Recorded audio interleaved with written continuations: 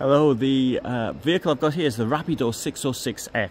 I think this is an interesting proposition for anybody who may be full-time in a vehicle but um, with the aviso that there's not much space in the garage. But anyway, let me talk about this. 7 metres long, 290 high, 235, 81,500 euros. What's interesting about this? Well, for a 7 metre vehicle, it's got quite a lot of storage and living space. It's got a huge amount of living space, as you can see. From here, you've got this really big table. You've got electric point down there, so you can sit at the table, you can work. Uh, the Under here, there's an extra chair, so you, when you're actually driving, so there's a forward-facing chair, and there's a forward-facing chair on this side as well. Uh, at the back, we've got this very large washroom. Unfortunately, has been spoiled by the step, but I think for technical reasons it might have been somewhat difficult to actually do it at this price without putting the step in. And there we have a very large shower and here we have all of this space for all of your stuff and I think that is quite an interesting feature. Uh, down here, you find we can get into the garage, although the garage I think could be a bit larger. Maybe.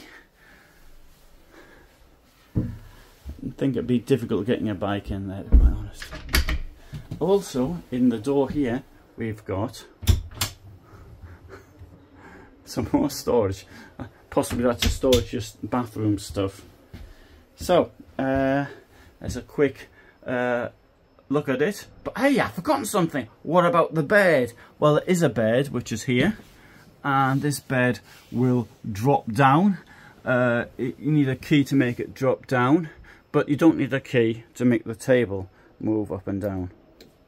Of course, it doesn't work because there's no uh, electricity in here and coming around here let's have a look at this. Uh, we have got the sink and here we've got two burners. Storage below storage over there and I think that on the whole it's got some interesting design features I, I would say.